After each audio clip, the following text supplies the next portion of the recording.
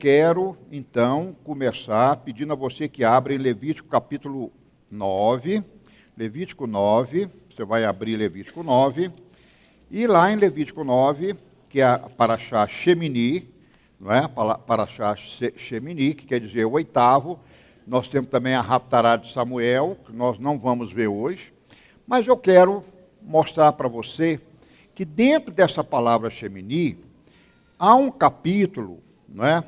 O capítulo 9 vai falar sobre sacrifício para o povo, depois vai falar no capítulo 10 a história de Nadab e Abiú, que ofereceram fogo estranho no altar do Senhor, e depois cai no capítulo 11. É uma paraxá pequena, e eu vou me dedicar só ao capítulo 11, tá? E o título vai ser A Dieta Saudável da Bíblia. Repita comigo, A Dieta Saudável da Bíblia. Eu nunca li livro sobre isso. Eu sei que existe alguma coisa aí publicado, mas do jeito que eu fiz, eu garanto que não existe porque eu peguei o início, meio e fim. Comecei lá em Gênesis. Eu vou varrer toda a Bíblia que fala de alimento. Eu tenho que acertar. Não é? Vamos lá? Hoje nós daremos ênfase às leis alimentares, tá bom? E dentro dessas leis alimentares, você tem que lembrar comigo o que, que é lei alimentar. A palavra, ó, até os rabinos confundem isso, hein? Rabinos famosíssimos confundem o que eu vou falar aqui. Gente, a palavra lei é genérica. Lei, dat, em hebraico é genérico. Agora, essas leis da Torá, que são 613, se dividem, se dividem em classes. Então eu tenho os mandamentos, diga mandamentos, que é o, o, as mitzvot, eu tenho os estatutos, que é os rukim, e tenho os mishpatim, que são as ordenanças. Né? Então, os próprios judeus falam, tudo é, é mitzvot. Não, tudo é lei, é dado. Agora, o mandamento, o que é mandamento? Olha para mim, alguém pode citar um mandamento aí? Não matarás, não furtarás, não adulterarás, vai. Bom, são muitos, são mais de 33. Os mais famosos são os 10, né? os 10 mandamentos, as 10 palavras. Então, olha para mim, olha para mim. O que é mandamento? É, é, é, um comando, em inglês é commandment, né? É um, é um comando uma ordem que vem de Deus, bate em você, você obedece, e se você obedece, volta para Deus. Isso gera salvação, hein?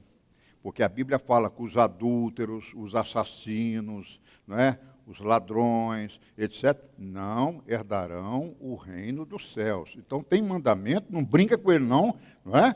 que joga você numa situação complicada.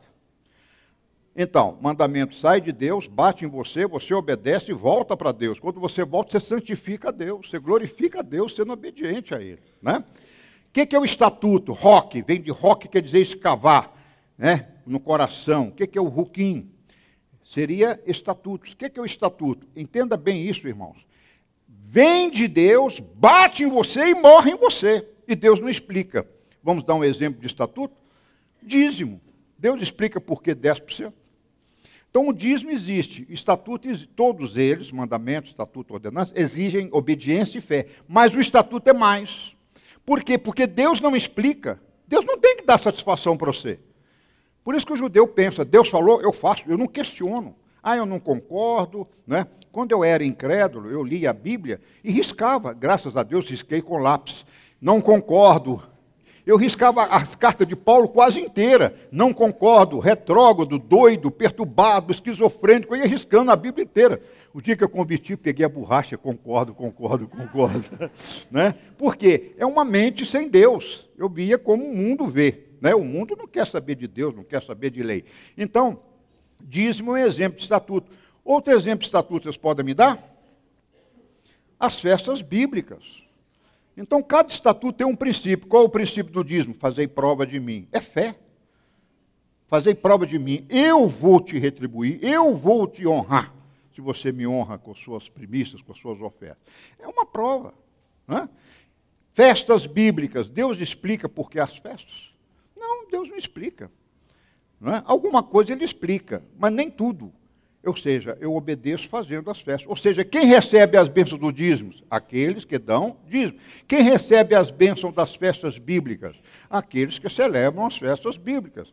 E agora, vocês vão ver que as leis alimentares de Levítico 11 são estatutos, ou seja, Deus não explica. Ele não quer. E outra coisa, vou te falar bem claro aqui. Se você acha que as leis alimentares é para a saúde, eu falo que não é.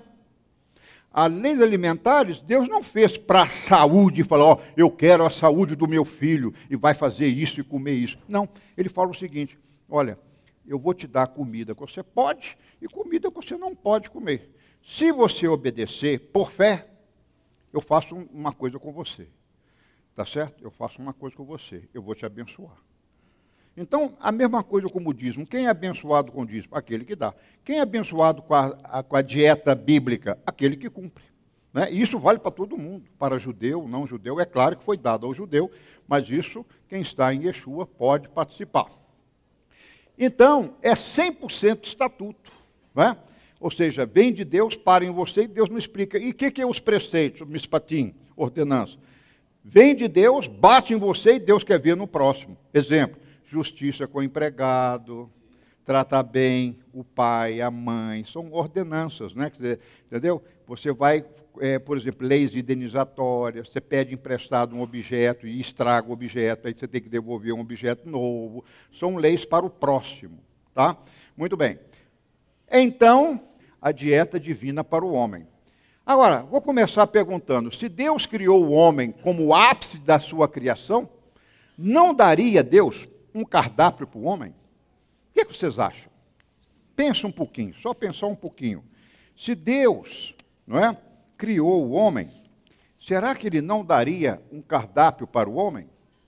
Hein? Sim ou não? Sim, ele daria um cardápio para o homem.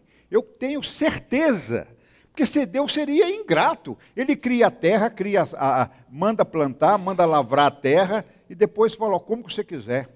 Não é? O homem comeria venenos, bichos imundos, morreria muito cedo, né? E nem cumpriria o propósito dele. Então, como Deus nos vê? Deus nos vê como Tessalonicenses 5:23. Vamos ler junto?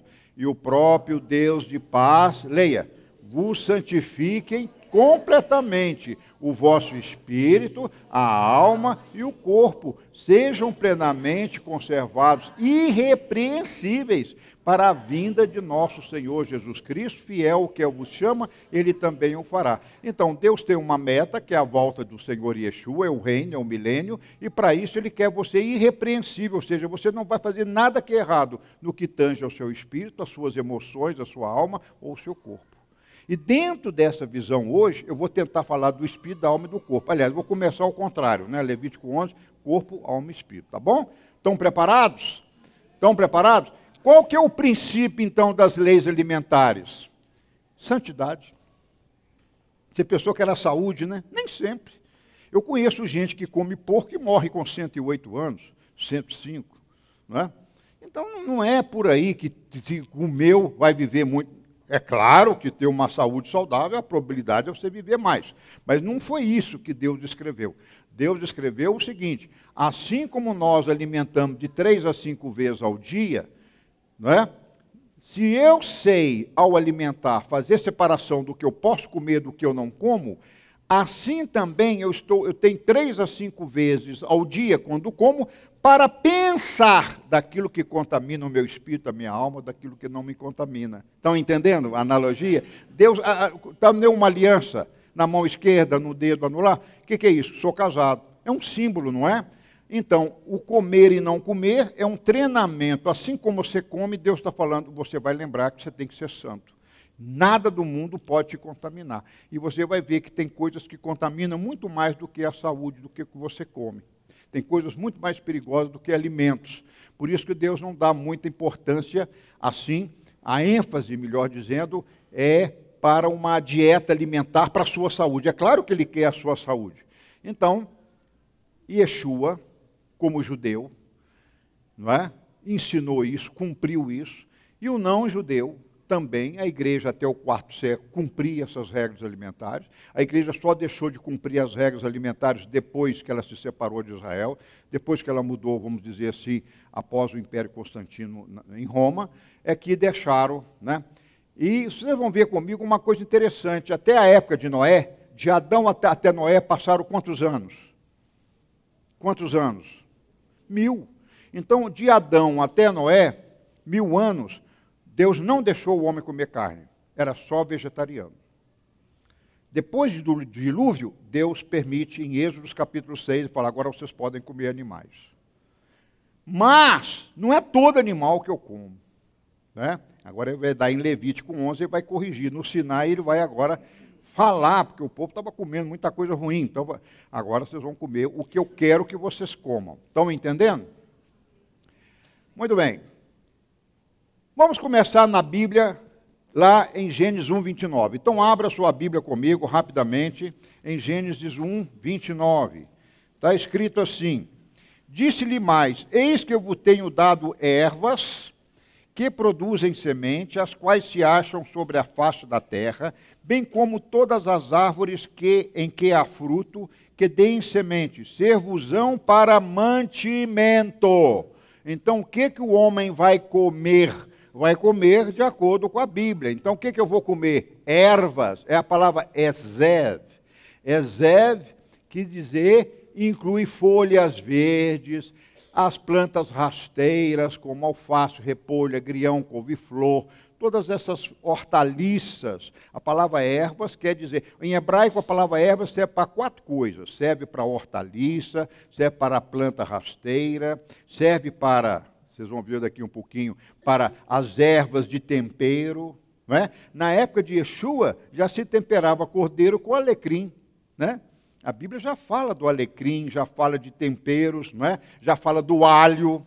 A Bíblia fala lá no Egito já tem um alho poró, né, para ajudar na, na, comida, no tempero. São ervas. Não é? A hortelã, a Bíblia fala da hortelã também. Não é? Muito bem.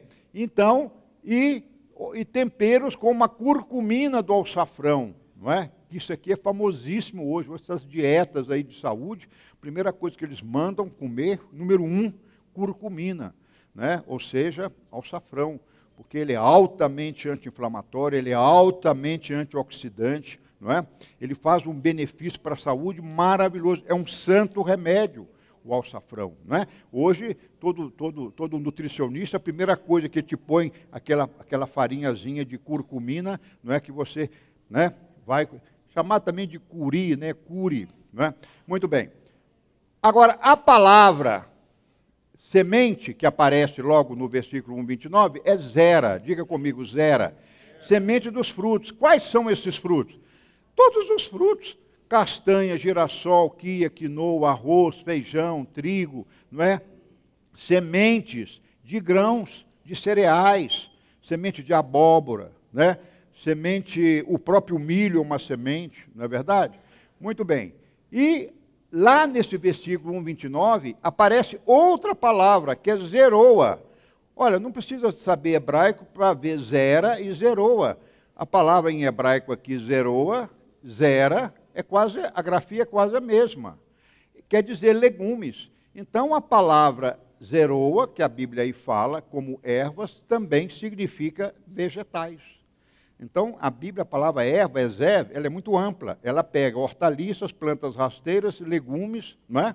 Semente não. Semente há outra palavra especial, que é a palavra zera. Muito bem. Agora, olha que interessante os legumes.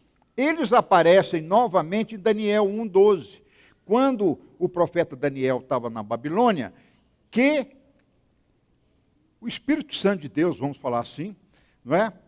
Pediu a eles que abstivessem, eh, abstivessem das iguarias do rei, né, das comidas do rei, e fizesse uma dieta de 21 dias à base de vegetais. E essa palavra vegetal é a palavra zeroa. Agora, olha que interessante. Abra comigo em Números capítulo 11, verso 15, para ver quais eram os vegetais daquela época. Números capítulo 11, verso 5. Bem rapidinho. Vamos lá. 11, 5. Olha lá. 11, 5. Lembramos-nos dos peixes que no Egito comíamos de graça, dos pepinos, diga, pepino, dos melões, olha aí, melão, já tinha melão, né? Que comíamos, dos alhos poró, alho poró, a palavra, eu tenho a palavra para alho poró, que é a palavra hatsik, alho poró. Depois, cebolas. Depois, alho. Peraí, olha lá, o povo já comia cebola e alho. Então, os vegetais da época, pepino, não é? Então, por exemplo, o pepino é riquíssimo. O pepino é um dos poucos elementos da natureza que tem molibdênio, além do selênio, molibdênio. Ele é antioxidante, anti-inflamatório, ele é alcalino. Quando você está com uma azia no estômago, você come pepino, ele, ele neutraliza a acidez do estômago. Não é? É, um, é, um, é um alimento sagradíssimo, abençoadíssimo é o pepino. Não é? E muitas vezes nós nem sabemos disso, não é verdade? Então, a dieta de vegetais, evidentemente, vegetal vai incluir batata, cenoura, inhame, carazinho, não é? Então vai incluir chuchu, não é? Eu não estou falando que na época havia chuchu, eu não sei, eu não tenho essa informação. Na Bíblia eu consegui achar Daniel, números esses aqui eu achei na Bíblia. Evidentemente, a Bíblia fala em legumes. Ela não falou quais legumes Daniel comeu. Lá não está lá batata, carazinho, chuchu, cenourinha vermelha, cenoura baroa. Não sei. Mas que tinha vegetal, tinha. E na palavra vegetal zeroa, atenção, inclui no hebraico tubérculos, raízes. Tá? Raiz. Lá eu sei que não tem mandioca, que mandioca é uma coisa tropical, aqui do úmido quente. Lá não é. Lá, não é, lá é seco e quente. Então não é úmido. Então a mandioca não dá. Mas tem outras raízes. A batata é uma raiz, né? O cará é uma raiz, né? Então, os legumes. Então, essa, olha, vocês estão seguindo a comida aí? Comer bastante hortaliça, comer sementes. Lembra que o arroz e feijão são sementes. O trigo, na época, eu vou falar daqui a pouquinho, era integral. Comer legumes, não é? Ele citou alguns, mas existem outros legumes. Depois que, é que ele fala, vai comer o etspri, liga comigo, etspri, todos os frutos comíveis. O que, que tinha na Bíblia naquela época? Figo, tinha tâmara, tinha romã, abacate eu não sei, não, não vi na Bíblia abacate, não é? Mas banana também eu acho que não tinha, porque lá hoje dá, mas antigamente eu acho que não dava banana, porque tem que ser úmido, não é? Também não dava. Laranja tinha, laranja tinha, manga não sei, ameixa tinha, né? Maçã tinha, pera provavelmente tinha. Então, vai comer frutos, frutos, não é? E aí você pode ir num sacolão hoje e ver todas as frutas lá, não é? Que você tem hoje. Então, essa é a regra. Agora, depois do dilúvio, Deus dá a Levítico 11, assim, agora vocês vão comer carne. Então eu quero falar isso com todo respeito aos vegetarianos. Né? Se você quiser parar no dilúvio, é ótimo. Para no dilúvio, não coma carne. Né? Não, não precisa comer, você não é obrigado. Eu estou respeitando o, o, vegano, o vegetariano. Eu não quero aqui impor, ah, você tem que fazer isso. Não, é? não. mas Deus permite. Eu vou quebrar um mito aqui hoje. Vou quebrar um mito daqui a pouquinho. Aguenta aí que eu vou quebrar um mito. E a medicina vai balançar. Os médicos nutricionistas vão brigar comigo alguns. Vou me escrever, eu tenho certeza, mas eu estou falando da Bíblia.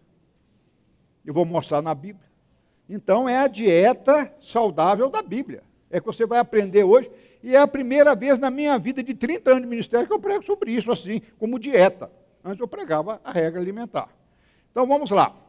Lembra que o sentido biológico de saúde se aplica para todo mundo. Sentido espiritual, separar o puro do imundo, ou seja, o precioso do vil. Tá? Então a lei alimentar é para a sua santidade também. Muito bem.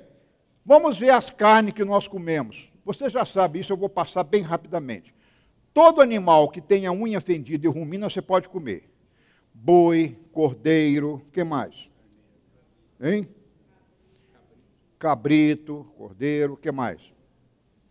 Que rumina? Camelo rumina? Rumina, candeiro, ó.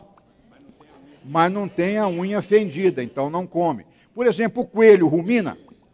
Rumina mas não tem a unha, então não come. Fendida é separada, viu, irmão? Aí os rabinos fazem uma teoria que a unha separada pisa no mundo e pisa no espiritual. É, eu não vou entrar nesses detalhes, não. Só sei que Deus falou, obedeça. Fala um animal aí que você gostava de comer. Fala a verdade. Você comia tatu. Você tem cara de comer tatu. Tatu.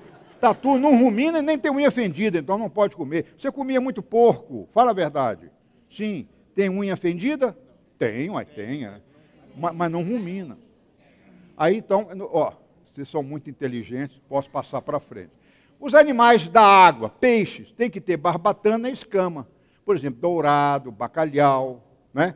são peixes que têm escama. Não, não, se come peixe de couro, porque o peixe de couro ele faz uma osmose com o meio que ele está. Né? E os rabinos sabem hoje que a escama, né, os rabinos não, os biólogos, que a escama é um verdadeiro filtro. É claro que o peixe que está no ambiente sujo, ele engole, mas sai. Agora, a pele fica incrustado na pele. Então, se tem mercúrio na água, qualquer metal pesado, fica colado na pele. Hoje, olha que ciência. Antigamente sabiam disso? Não. Por isso que Torá falou, faça, não discuta, porque você não sabe a sabedoria divina. Deus sabe. Quem entendeu? Então, não vai comer camarão. Ah, Rabino, eu quero comer, quero morrer morrendo. Coma e vai para o céu mais cedo, não tem problema nenhum. Você pode comer o seu camarão, o seu lagosta. Quer dizer, Aqui não está falando de ir para o inferno ao céu, é qualidade de vida. É para treinar a santidade, come e não come. Eu sei separar, assim como eu sei separar a comida, eu sei separar o que contamina a minha alma, o meu espírito. Se der tempo, vou falar. Então, pode-se comer lagosta, camarão, frutos do mar? Não, não se come. Não se come. Isso é um problema seu. Se você está sendo chocado agora, é um problema seu. Não é? Ave, tudo que não é ave de rapina, exemplo, galinha, rola, peru, pato, você pode comer. Ô, gente, eu fico pensando, tem tanta gente pobre aí, né? Quando eu ia fazer trabalho na favela, era muito lixo, era muito sujo, cheio de urubu, o povo passando fome. Eu nunca vi numa casa, ó, oh, Rabino, vem comer aqui um urubu que eu fiz aqui a molho porque se é de graça, por que não matava o bicho com uma pedra, com um tiro, sei lá o quê? Você já viu que ninguém come? Eu vou comer urubu? Ele come carniça? Olha aí, olha a sabedoria popular. Ninguém ensinou para ele, mas ele não come. Isso é uma coisa intuitiva. Ou seja, não se come ave de rapina. O que é rapina? Aves que se alimentam de mortos. Urubu, fazão, falcão, gavião. Né? Essas aves de rapina não se come águia animais, aves que comem carniça. Não se come. Agora, os urubus estão para a terra, para a limpeza das coisas podres e mortas, assim como os camarões e lagostas estão para as águas. Qual que é o papel do camarão? Só come coisa velha, só come peixe podre. Ô irmão, vocês estão entendendo? Hoje nós sabemos disso, mas antigamente não se sabia. Antigamente não tinha faculdade lá em Tel Aviv, em Jerusalém, não tinha nada. Né? Mal, mal tinha, nem ginásio tinha, nem primário tinha. Tinha aquelas escolas judaicas lá, que eram as yeshiva, que para quem sabia ler, mas 95% das pessoas não sabiam ler, eram analfabetas. Por exemplo, pode comer inseto? Pode comer, gafanhoto você pode comer. Argol, ou seja, que tem asas, pernas sobre os pés que saltam. Aquela perninha que faz assim, né? Da, né? Tem dobrada, Agora, pelo amor de Deus, não saia daqui e vai comer gafanhoto, porque hoje eu não sei se o gafanhoto de hoje é a mesma espécie daquela época. Pela Bíblia, já havia quatro espécies de gafanhotos, tá? Então não vai dar uma de João Batista comer gafanhoto com mel, porque você pode se dar mal, tá? Mas, mas poderia comer sim, né? Répteis, jacaré, cobra, não, é? não se come. Não se come nenhum, nada que rasteja sobre a terra. Irmãos, eu já comi isso tudo. Quando eu já era crente, irmão, comia jacaré, comia cobra. Tinha um restaurante aqui, não vou falar o nome dele, aqui na da Praça Soares, tinha lá só caças, tatu, paca. Comi isso tudo. Mas que ignorância, né? Que ignorância. Eu peço perdão a Deus porque eu já comi essas coisas todas. Pode um gentio seguir as regras alimentares? Pode um não judeu seguir? O que, que vocês acham? Pode, é um estatuto. Todo crente é obrigado a dar disso? Não, ele dá se quer. Mas quem dá, recebe a bênção. Quem come, recebe a bênção. Né? Então, na verdade, essa lei. Ah, mas Paulo lá em Romanos 14 fala para não julgar o que come, que tudo pode comer. Não, não, não é assim não. O contexto de Romanos 14, Paulo estava falando para não julgar o irmão que come e o que não come, porque tem um que é fraco na fé e não come carne. Então, Paulo fala: você que come carne não vai julgar o que não come. E o que não come carne, é, é um direito dele, não é? Não vai julgar aquele que come. Não é isso que nós fazemos na Racion, né? Graças a Deus, diga graças a Deus. Porque tem religião aí que segue a Torá, irmãos nossos, que dão uma lei para você. Aí é pesado. Aqui você tem a liberdade, né? Não quer comer carne, não come. Quer comer carne, come. Aliás, depois de hoje você vai comer muita carne, pode ficar tranquilo. O gentio é levado à plenitude no enxerto da oliveira, Romanos 11, 17. Ou seja, aquele que está em Cristo foi enxertado no oliveira que é Israel, as raízes da oliveira é Abraão, Isaac, Jacó, todos nós, judeus e não judeus, somos filhos de Abraão e participamos da mesma seiva, quer o judeu, quer o não judeu. O que é seiva? Bênção, nutriente da planta. Então pode, podemos aplicar sim. Não vem você falar, estou debaixo da graça, abençoa e come. Então abençoa uma barata, por favor, abençoa um urubu e come. Não é? Dizer, não é assim. A bênção não tem poder de purificar o animal. Deus falou, é eterno enquanto houver vida, tem uma lei divina que Deus não muda. Não é assim que está em Malaquias? Deus é o Deus de ontem, de hoje e de sempre. Aí chega o crente lá, eu estou debaixo da graça. Jesus, tudo agora é Cristo. O Shabat é Cristo, as festas está tudo em Jesus, não é assim que eles pregam? Não é? Está errado. Pelo fato de estar na graça, pelo contrário, a Torá nos aproxima de Cristo, é o que está escrito em Efésios. Vocês estavam longe, mas em Cristo foram aproximados pela Torá. Então vocês podem participar das bênçãos da Torá. Esse é o entendimento que nós falamos aí numa super mega igreja sábado, sexta-feira passada. Não é? E foi um choque quando você fala essas coisas, porque eles acham que Torá é Velho Testamento, que, que Deus aboliu. A graça aboliu. Pelo contrário. Porque tem a graça é que a, que a Torá tem validade. Porque agora eu estou nascido de novo, cheio do Espírito Santo, e eu sei as, as bênçãos, as leis divinas que me aproximam não só do judeu, do judeu chamado Yeshua, mas também do povo judeu, do povo de Israel. Então, o princípio maior das leis alimentares é santidade. Se alguém sabe fazer separação dos animais imundos dos que não são imundos, a Bíblia chama de imundo. Eu sei que a palavra é muito pesada, não é? E chama de imundo. Mas eu não quero agora fazer uma apologia para chamar isso. A Bíblia chamou de imundo, é imundo, acabou. Não é? Mas só para você ter uma ideia, nós vamos falar agora de carne, tá bom? Vamos deixar o frango para lá, o peixe, que é muito tranquilo, né? Você vai numa peixaria, vai me dar um peixe de couro, você está vendo lá, você sabe que tem couro. Passou a mão, não, não deu aquela aspereza de escama, não come, não compra. Não é? Então é muito fácil. Mas vamos passar aqui agora um pouquinho de judaísmo. Então, existe coisas boas no judaísmo. Nós não podemos falar que todo judaísmo é ruim. Estão afastados da Torá, sem dúvida. A religião judaica, muita coisa como católicos, se, né, como os cristãos, melhor dizendo, não só católicos, mas evangélicos, se distanciaram da palavra de Deus verdadeira. Assim também o judaísmo distancia, mas isso tem coisa muito séria. Vamos ver se nós fazemos isso quando compramos carne. O chorrete é o, vamos falar assim, o cara, né, a pessoa responsável pelo abate, é o abatedor de animal, né, tipo de açougueiro, vamos falar assim mas estudado, porque ele tinha que obedecer à Torá e viver uma vida piedosa. Então, no judaísmo tem muito isso. O escriba, não pode ser qualquer um com a profissão de escriba escrever a palavra de Deus. Ele tem que viver em jejum, ele tem que seguir muito a Torá para ser um escriba. O escriba já havia na época de Yeshua. Aqui na o Shoré, que é o homem que cuida do abate, ele tem que fazer a xerritá. O que é a xerritá? Tem um ritual do abate. Ele abençoa o animal, ele vê se a faca está afiada, a morte tem que ser rápida para não sofrer. Por que a, a faca afiada? Você matar um animal com a faca cega, você está judiando do animal, você está fazendo ele sofrer. Tem ciência nisso, não só em dó o animal, mas quando você mata lentamente, o animal não quer morrer. Você já viu como é que porco grita? É o que mais grita é porco, né? Então, a adrenalina dele, aquela sensação, que ele, ele, é, um, ele é um, um organismo vivo. Então ele tem fígado, tem rim, tem pâncreas, né?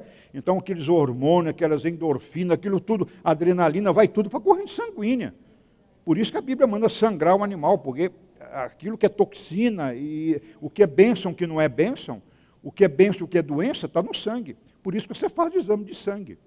Né? Pelo sangue você sabe como está a sua saúde. Por isso que manda sangrar o animal e não comer sangue. Né? Já está protegendo a sua saúde. BDK, ele inspeciona os órgãos internos, doenças, ferimento, pus, porque ele pode estar bem por fora. Você vê um boizinho gordinho, bonitinho, né? E está todo podre por dentro, ele pode estar com câncer. Uma vez eu comprei uma picanha, eu levei para casa. Quando eu cortei a picanha para fazer o churrasco, tinha um tumor dentro da picanha. Quando eu vi aquilo, eu peguei a carne, fui dentro do açougue e falei, ó, oh, isso aqui. Aí o sujeito veio com uma conversa fiada para o meu lado, ah, não, isso aqui na hora, é, isso aí faz parte, isso é gordura. Eu falei, não, gordura, isso aqui é um tumor. Eu não sou tão ignorante assim, não. Eu falei, eu quero outra picanha. E ele me deu. Eu falei, eu quero outra picanha. Então, esse boi não foi inspecionado. E se eu comesse aquilo, podia ter danos para a minha saúde, não sei. Nicur, certas veias, nervos e sebos são proibidos. Então você não come certo tipo de sebo. Sebo não se deve comer. Gordura pode, sebo não. Tá certo? Certas nervuras. Aí tem o problema de Jacó, né? É aquele nervo ciático lá de Jacó, que o judaísmo tira, porque a Bíblia fala não coma desse nervo para você lembrar né, da transformação de Jacó. Mas não vou entrar nisso, não.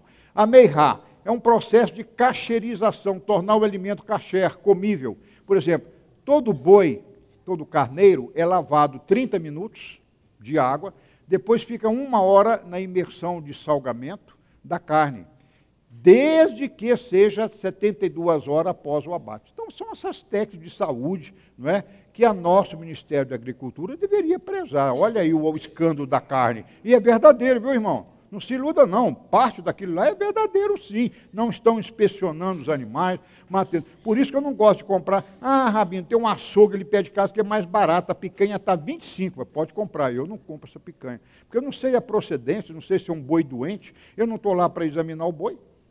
Então eu vou confiar no laboratório, ah, no, no, como é que chama? numa empresa boa. Aí você vai confiar na empresa famosa aí, tudo estragado. Quer dizer, é, fica difícil. Então o que, que você faz? Vai no açougue, dá uma cortada, cheira a carne, vê a aparência dela, você vai ser o chorré, né? Para sua própria carne. Bom, eu vou quebrar agora um mito. Ai, ai, ai, os médicos agora, não todos, mas alguns médicos vão me comer vivo e nutricionista também. Eu vou fazer agora um pouquinho da gordura. A palavra gordura é ralav. Você lê aqui ralav. Você pode ler também releve. Ralav é leite, queijo, é a mesma palavra, a gordura do leite, do queijo, chama ralav. E releve é a gordura que era queimada juntamente com os rins, o fígado e as vísceras. E a palavra relé quer dizer duração da vida. Olha que interessante a correlação da palavra gordura com duração da vida. Então, o que, que eu quero te falar? Por que o sacerdote queimava os rins, o fígado e as vísceras? Queimava esses órgãos, porque esses órgãos, na verdade, se o bicho é caché, pode comer o rim ou o fígado, pode. Mas se queimava porque são órgãos que trabalham com sangue. O rim filtra o sangue, a metabolização se dá no fígado, não é?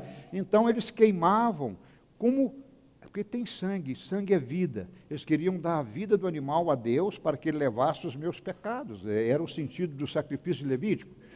Era oferecida como oferta pacífica e cheiro suave. A gordura, o mais gostoso da carne, vamos falar a verdade aqui, é gordura. E está na Bíblia, que é gostoso mesmo. É a gordura. E eles tiravam a gordura e ofereciam a Deus como cheiro suave. Não é? Eu já tentei queimar músculo, não fica cheiro suave.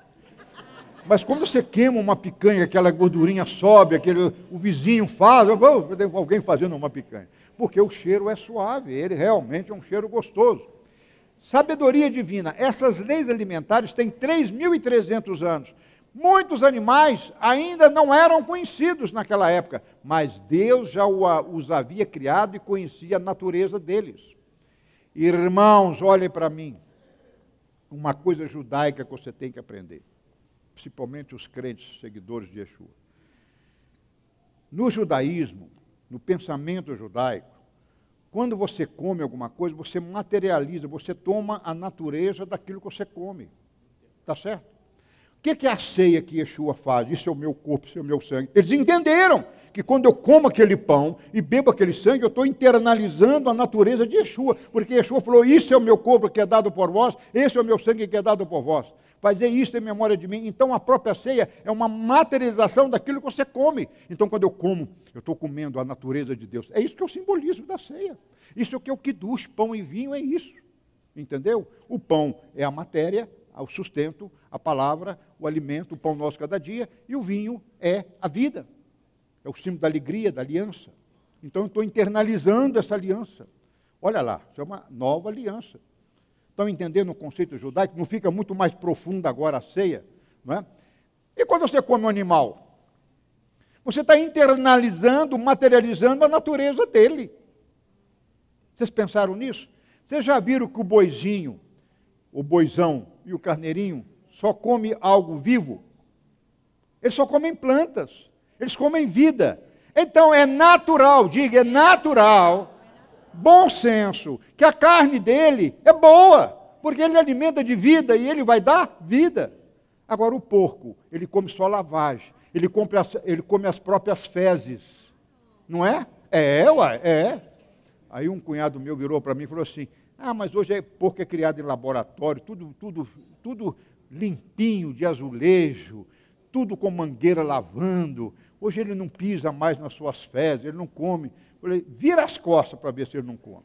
Porque a natureza dele não mudou. E se você pegar aquele porquinho limpinho do laboratório, do frigorífico, e levar para o chiqueirinho, ele vai fazer a mesma coisa, ele vai fazer aqui, ó, e comer lá.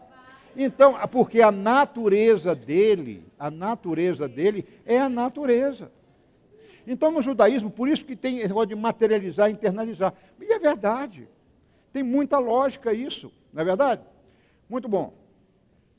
Há controvérsias. Pode ou não pode comer gordura saturada? É que eu estou falando saturado. Deixa eu explicar aqui para quem já fez o ginásio muitos anos atrás. Uma gordura saturada é quando não dá mais combinação de carbono com oxigênio, nada é, já saturou, a, solu, a, a carne está saturada. Ou seja, as ligações químicas não aceitam mais nada. Já está completa, já saturou. A gordura é um tipo de gordura saturada. A gordura que você come de carne, boi, frango, são gorduras saturadas. A gordura dos sacrifícios não podia ser comida. Está aqui, ó, Levítico 3, 7, não podia comer. Era para Deus, como é que você ia comer? Então o melhor se oferecia para Deus. E quando eu não estava sacrificando um animal? Comia, comia. E eu vou mostrar isso aqui na Bíblia, vários versículos na Bíblia. Vocês querem ver alguns versículos? Vamos ver, por exemplo, o Salmo 63, 5 fala: Minha alma se farta de tutano e de gordura. Mas peraí, como é que a Bíblia pode falar? A gordura de bicho caché, né? Não de porco não de banha de porco. Lê comigo Isaías 55, bem rapidinho, tem que ser rápido, porque muitos versículos nós vamos ver hoje ainda. Vamos lá, Isaías 55, no versículo 2, bem rapidinho. 55, 2. Por que gastais dinheiro naquilo que não é pão? E o produto do vosso trabalho naquilo que não pode satisfazer? Ouve-me atentamente. Comei o que é bom, diga, comei o que é bom deletai-vos com a gordura. Peraí, como é que Isaías podia falar se a gordura não fosse boa? Irmãos, aqui está um mito. A gordura saturada é boa, de acordo com a Bíblia. Os médicos podem até falar que não seja, mas pela Bíblia é boa. O povo comia gordura, não a do sacrifício, mas fora do sacrifício, se comia gordura. E olha aqui que interessante. Se você quiser ler Jeremias, fala assim: saciarei de gordura até a minha alma. Então comeu muito mesmo. né? Ô, irmão, eu comi tanta gordura que saciei a minha alma, minhas emoções. Aqui, está lá, Jeremias 31, 14, eu não estou inventando, não. Então você pode comer uma gordura, agora calma, vai devagar. Ah, mas a Bíblia mandou eu deleitar, eu vou comprar agora só gordura. Não, peraí, aí também não. Como deveria ser? Então vamos falar o seguinte: para a gente começar encerrando, como deveria ser a nossa dieta conforme a Bíblia? Há livros sobre esse tema, eu nunca li nenhum livro desse e nem quero ler. Porque eu, como conheço a Torá há 20 anos, eu tenho conhecimento suficiente para fazer minha própria dieta, concorda? Eu vou me basear num, num nutricionista aí que, não, que vai achar o que a ciência acha que é?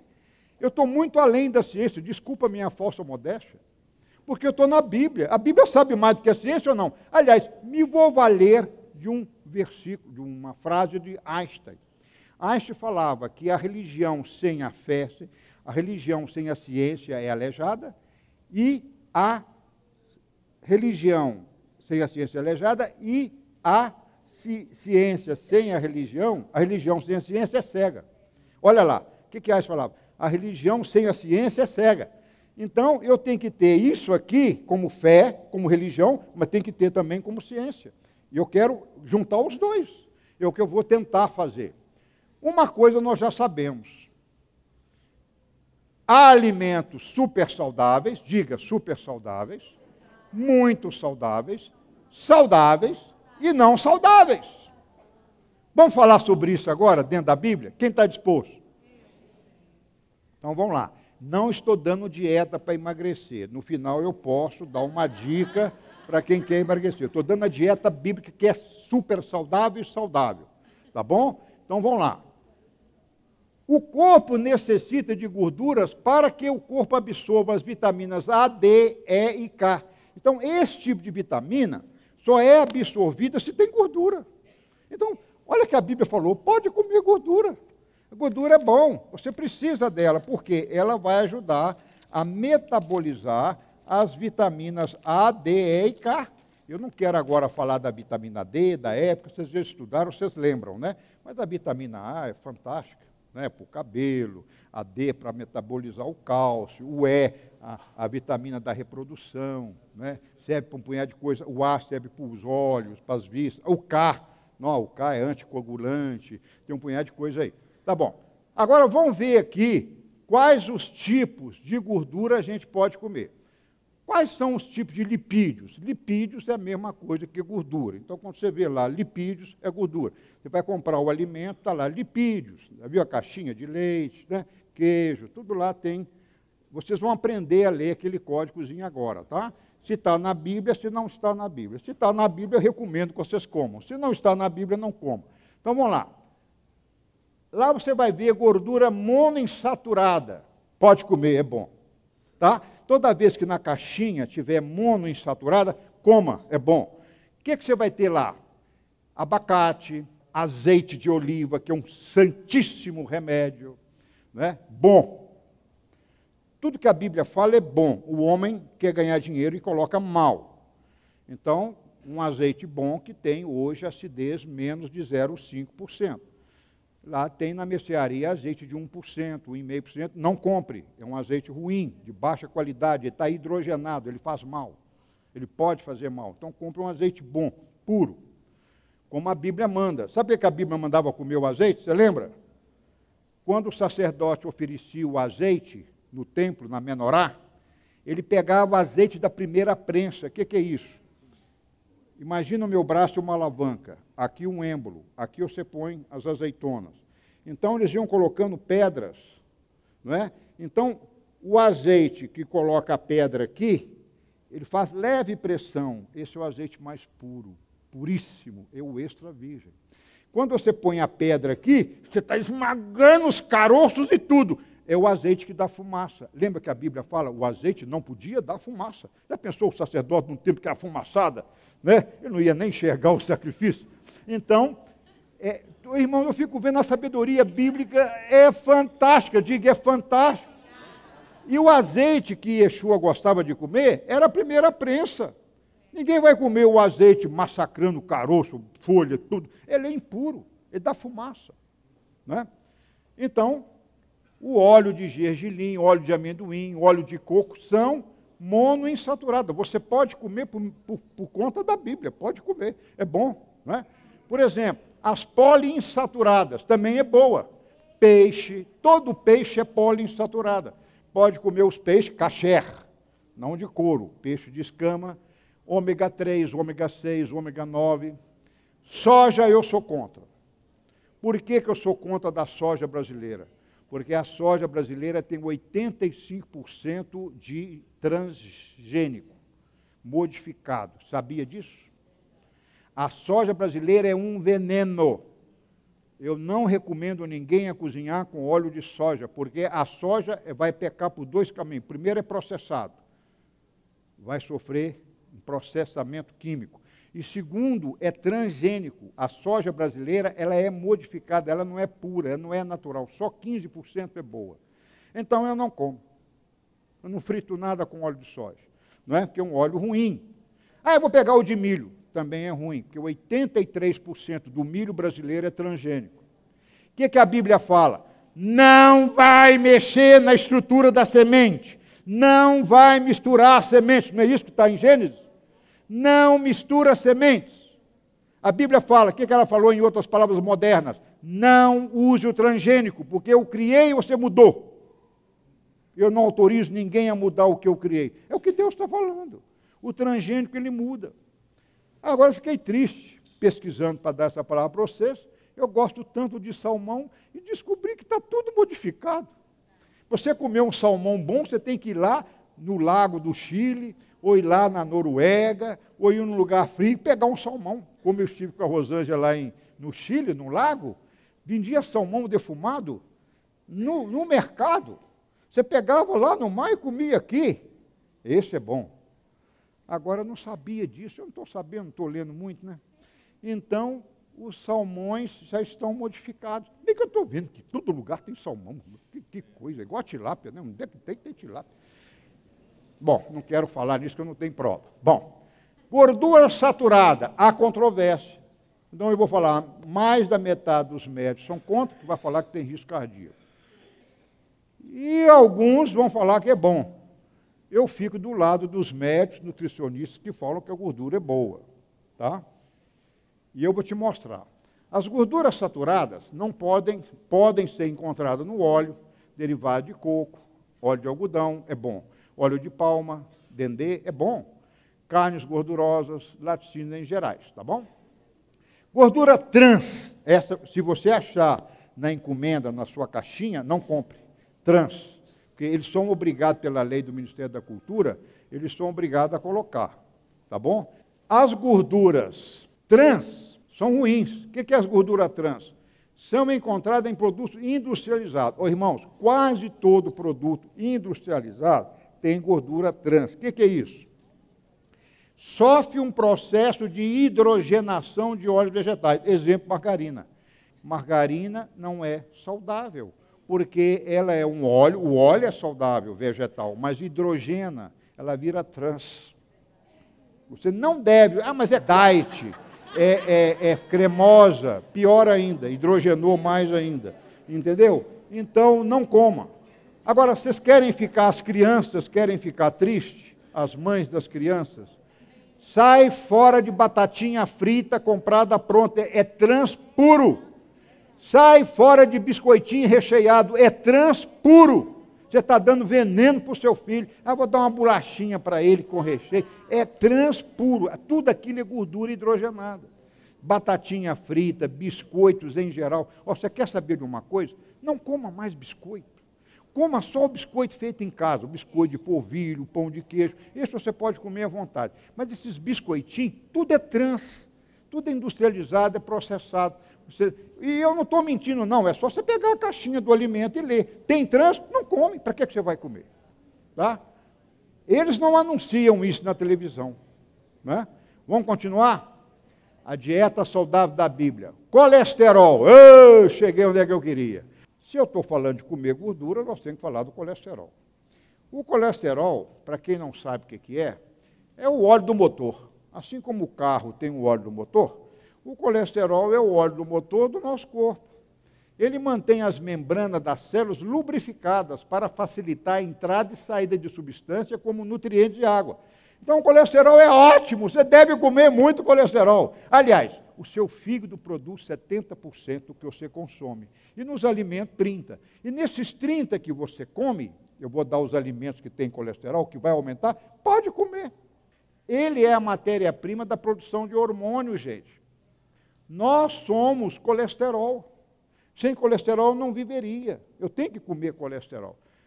Ou seja, alimentos que têm colesterol. Ele protege os nervos, ajuda na troca de informações entre neurônios e o cérebro.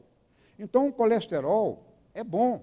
existe o chamado High Density é, Lipoprotein, que é o HDL, que é o alto colesterol, que é o bom. Então, o colesterol bom e tem o mal, que é chamado né, de Low Density Lipoprotein, o LDL.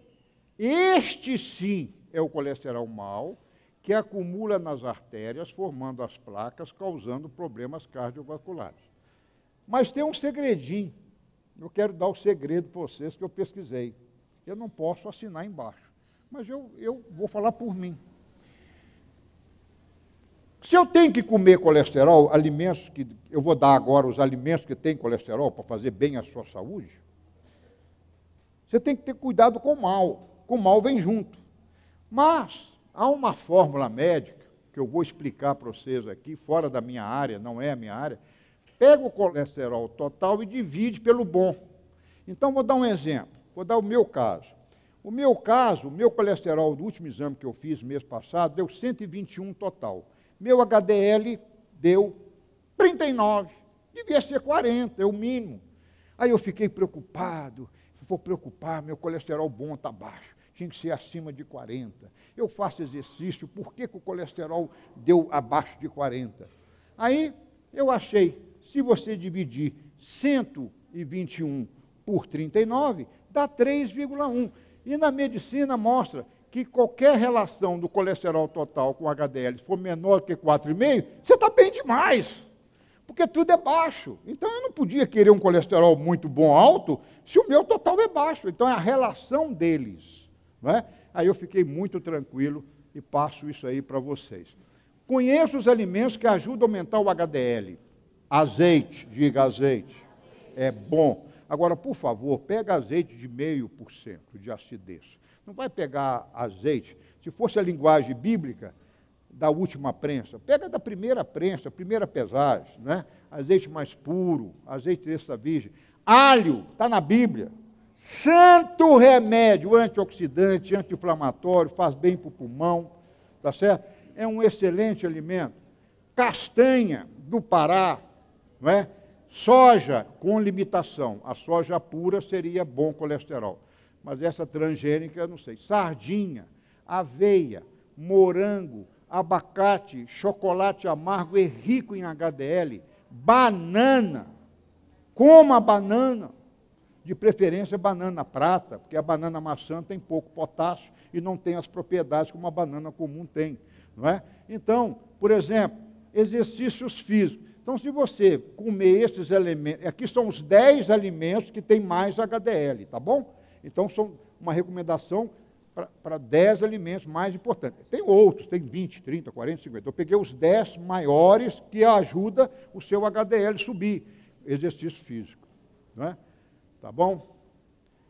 Aqui, antes do dilúvio, o homem viveu 969 anos, Matusalém.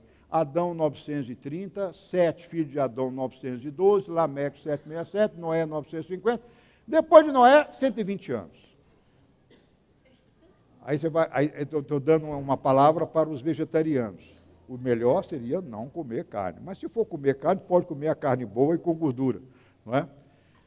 Proteínas animais são as poliinsaturadas, monoinsaturadas e as saturadas com moderação. Então, Gênesis 9, 1, 3 mostra não é, que você pode fazer uso da gordura, porém você não vai abusar.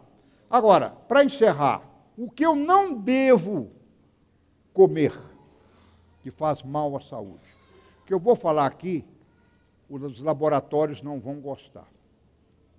Mas empresas americanas pagaram 42 milhões de dólares para as companhias de açúcar fazer campanha do açúcar. O mal que está matando de obesidade, sabe o que, que faz roubar o seu colesterol bom? Açúcar. Açúcar é um veneno. Vou te dar uma estatística da França. A França é um país que não se come açúcar. A Alemanha também. Eu morei lá, eu sei. Não se come açúcar. E quando come é de beterraba, que não adoça nada.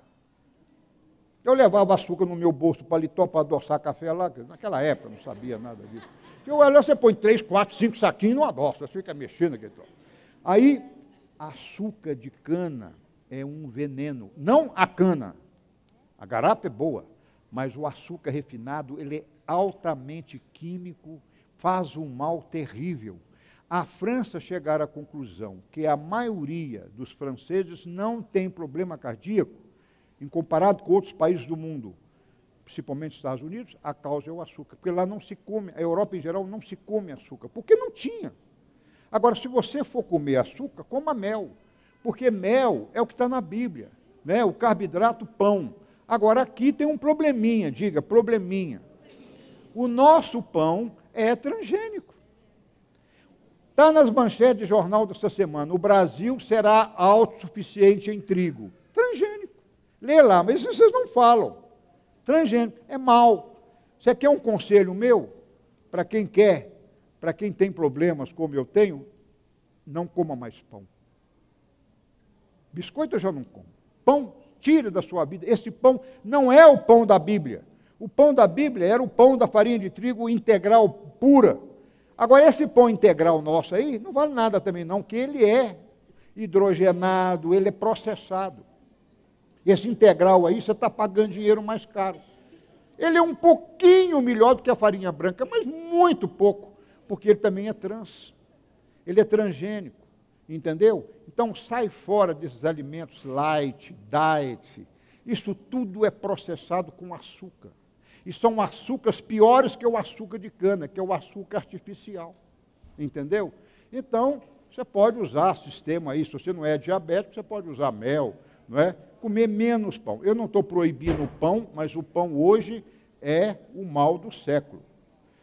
E você sabia que esse açúcar, carboidrato, eles atrapalham o fígado, dão gordura no fígado. E quem é mal, está provado na medicina, eu vou achar aqui é da Sociedade Americana de Nutrição. Eles publicaram isso. Então não é o Marcelo que está falando, não. Eu estou pegando a Bíblia aqui e tentando aplicar a Bíblia. Então, o trigo, naquela época, não era transgênico. E eles não tinham açúcar, tinham mel. Provérbio 24, 13. Come o mel porque é bom. Aí você vai comer mel. Aí eu, aí eu te falo, vai ler então Provérbio 25, 16. Se comer mel, com moderação. Leia lá agora, leia agora. Leia agora na sua Bíblia, Provérbio 25, 16. Se comer mel, tem que ser pouco. Pouco, não muito. Isaías 7,15. Coma manteiga e mel. Irmãos, não coma margarina. Coma manteiga. E a manteiga é o leite. Ah, mas a manteiga é o leite processado. É, mas tirou a lactose. Tudo que você processa, o queijo, é muito melhor do que o leite. Né? Porque o queijo, ele já tirou, fermentou, ele tira o açúcar, ele tira aquilo que é carboidrato, fica mais a gordura. E a gordura do queijo é boa. Desde que você tenha um rim bom. Se você não tem um rim bom, não coma proteína. Evite alimentos que têm fósforo, ovo e queijo. Quem tem problema renal não pode comer ovo nem queijo, nem, nem derivados de leite. Não é? Quem é diabético também pode comer gordura à vontade, mas não pode, porque a gordura é a segunda fonte de energia após o carboidrato, não é verdade? Para encerrar, os probióticos. Eu achei na Bíblia. Quem sabe o que é probiótico? Você ter uma saúde saudável, os alimentos têm que ter bactérias benéficas. A coalhada é a maior fonte de bactérias benéficas para refazer a sua flora intestinal. Abraão, quando foi servir aqueles anjos, serviu o quê? Coalhada e com carne, churrasco com coalhada. É incrível, né? Agora, tem também os pré-bióticos. Eu não achei na Bíblia os pré-bióticos. O que, que são os pré-bióticos? Os probióticos são as bactérias benéficas. E os prebióticos? São alimentos que vão alimentar as bactérias. Então, para as minhas bactérias boas, que estão tá na barriga, come banana verde. Você vai alimentar a sua flora intestinal. Polvilho, doce. E tem na Bíblia algumas citações das coalhadas, desses probióticos. Agora, os pré-bióticos, eu não sei Hoje o polvilho doce é feito com a fécula de mandioca.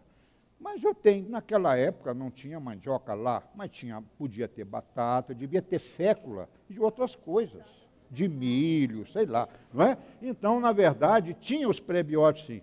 Para encerrar, óleos, azeite puro, primeira prensa, como a Bíblia chama de primeira prensa. Sal, olha para mim. Você deve comer sal. Ah, mas eu tenho pressão alta. Sal puro, sal, como é que chama isso? Sal grosso. E você quer um sal melhor? Himalaia, o sal rosa, sal de rocha. Esse é um sal saudável. Eu preciso do sal e preciso do potássio. Então, essas dietas precisam ser. Se você tem uma pressão normal, está funcionando normal, você pode comer sal. Aliás, a Bíblia manda salgar a carne. A Bíblia tudo usava sal. A coisa que você mais acha no Antigo Testamento é o sal. Sal é vida também. Você tem que comer um pouquinho de sal por causa dos íons, né? E de sódio e potássio. Você vive de sódio e potássio para você pensar, para você trabalhar. Tudo está ligado ao batimento cardíaco. Agora, tudo pouco.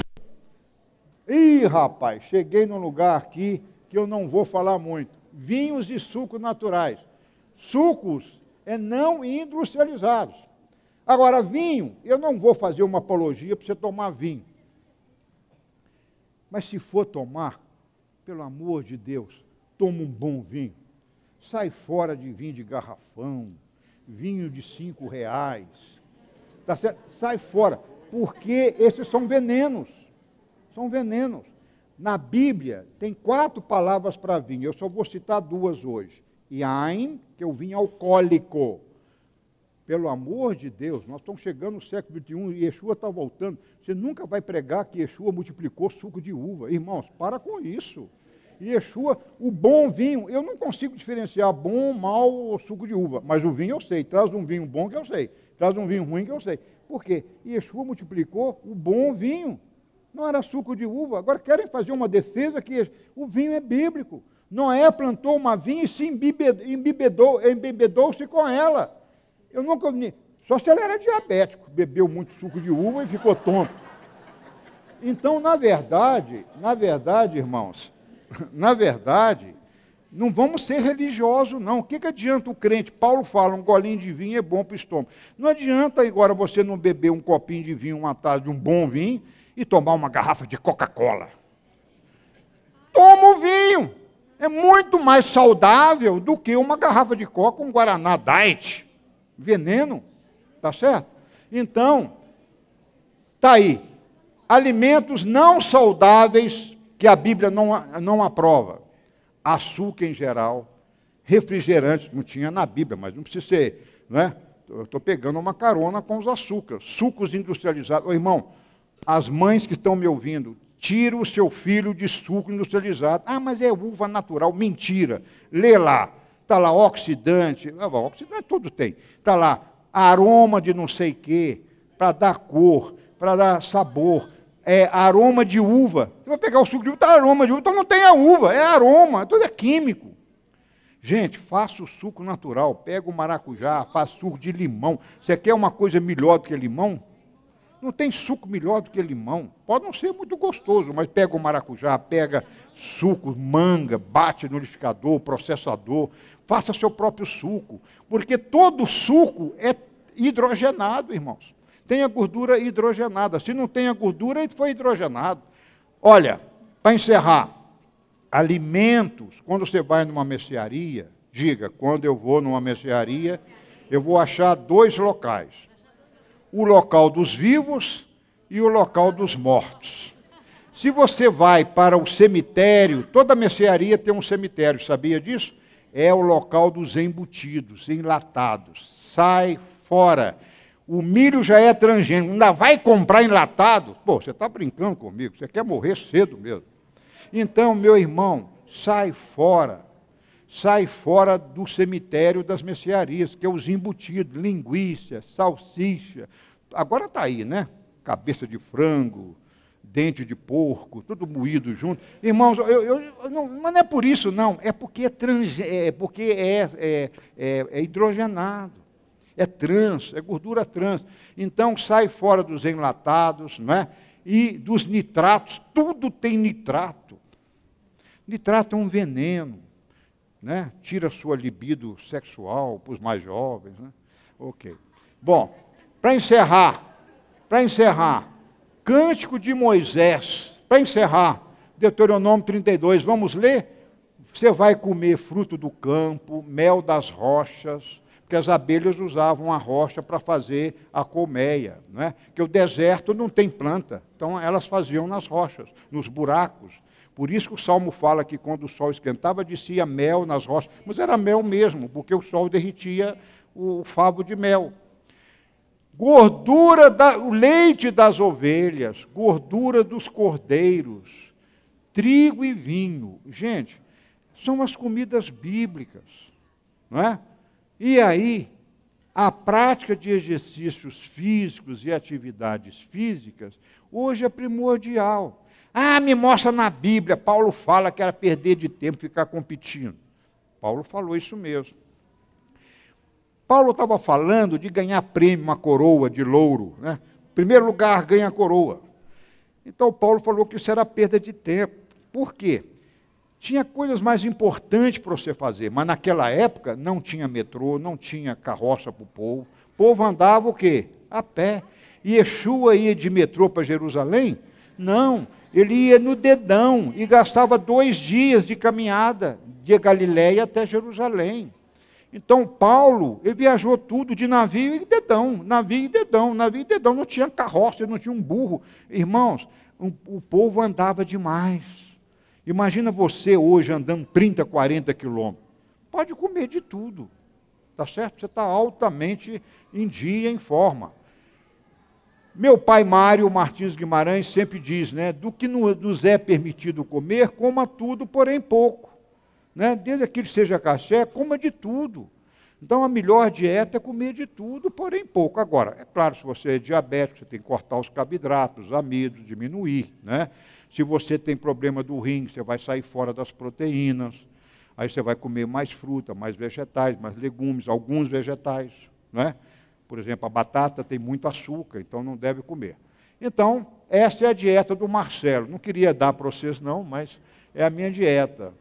Eu tenho o prato, no prato eu coloco aqui o número um, que é meio prato, vai ser de, de aqui de alimentos super saudáveis, hortaliças e vegetais.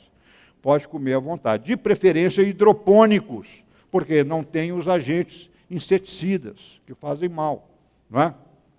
Então, número dois, vai comer alimento muito saudável, grãos, arroz, feijão, lentilha, pode comer um quarto do prato, não mais. E depois os alimentos saudáveis, que são as gorduras. Um bom pedaço de picanha, por que não? Um bom pedaço de picanha, um bom uma carne cozida, uma maçã de peito com uma gordura, com um tutano, um músculo é ótimo, é bíblico.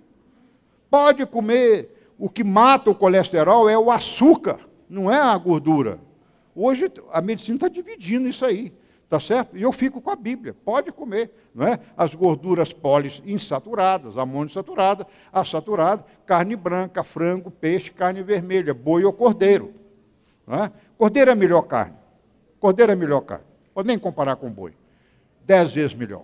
Não é? Por isso que a Bíblia se comia cordeiro demais. Agora, Refeição intermediária, frutas.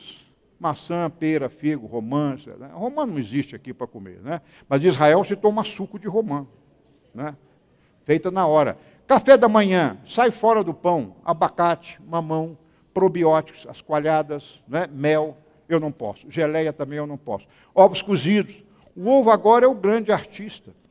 O ovo, aquela bolinha vermelhinha, é uma vida. Tudo que você precisa tem no ovo. Antigamente, na minha época de rapazinho, o ovo era o vilão, vai morrer de colesterol. Hoje, tem médicos que comem sete ovos de manhã.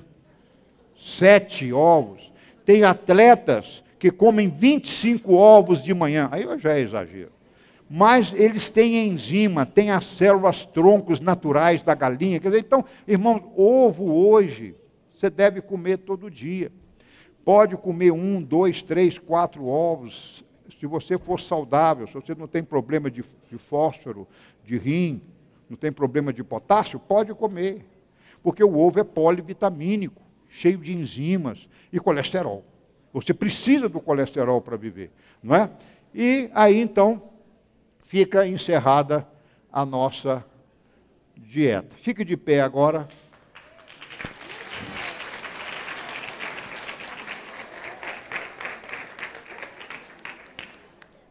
Não deu tempo, diga, não deu tempo. Eu falei do corpo, mas tinha que falar agora do que contamina o corpo. Ficou claro?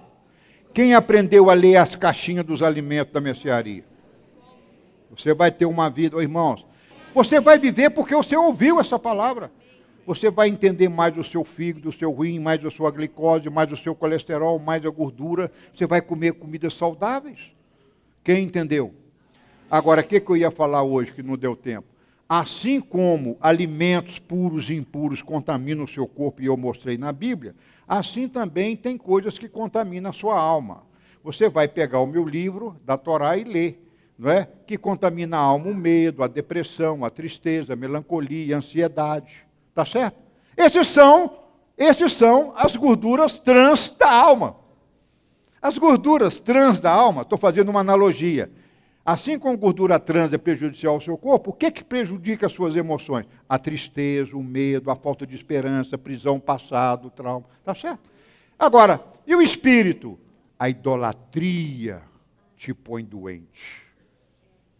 Não idolatra uma imagem, não, que você vai ficar doente do espírito. E vai contaminar a sua alma, demônios vão entrar e você vai morrer cedo. Idólatras, não é? Agora, não é só a idolatria de imagem, não. Pecados abomináveis, aberrações sexuais. Leia Levítico 18. Você não vai deitar com a sua mãe, nem com a sua irmã, nem com a sua tia, nem com o animal. Isso mata o seu espírito. Entendeu? A ausência de culto e adoração, não dá para citar. Se a sua vida não tem um culto a Deus, uma adoração a Deus, adore a Deus de manhã, levanta, dê graças pelo sol, pela lua, dê graças porque você levantou, dê graças porque você abriu o olho. Ah, Rabina, só tem um, abra um só, mas que dê graças.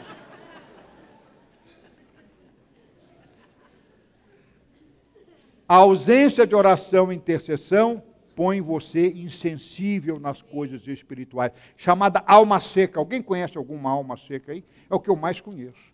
Gente que tem alma seca, está seco, ausência divina, falta de comunhão com o irmão, com o Messias. Tenha comunhão com irmãos que comungam a mesma fé, convide o irmão para fazer o Kabbalah Shabbat com você. O que, que, que, que contamina o seu espírito? A ausência de comunhão, de alimento da palavra, porque a, a, a fé, é, o conhecimento da palavra vem pela fé, Oséias 4,6. O meu povo perece porque não conhece a minha palavra. E eu sou um bom pastor ou não? O bom pastor pastoreia coisas que é do espírito, da alma e do corpo. Por isso que eu vejo cada pastor, como na época de Levítico, um médico. Ele é um sacerdote médico. Ele, o sacerdote sabia cuidar da saúde do povo, não é? O sacerdote era um psicólogo, psicanalista que sabia resolver o problema do povo e tirar o foco do problema. E o sacerdote era um homem espiritual que ligava o homem a Deus. Envolvimento com seitas, filosofia orientais, e aí por fora, espiritismo, feitiçaria, magia, encantamentos, trabalhos que invocam o mal, Apocalipse 21, 8, 22, 15 Saia fora disso, porque não herdarão o reino dos céus.